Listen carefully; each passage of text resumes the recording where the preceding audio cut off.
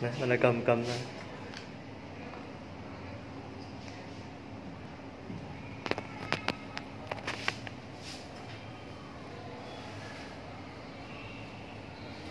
Con lớp mấy lớp 9 đúng không?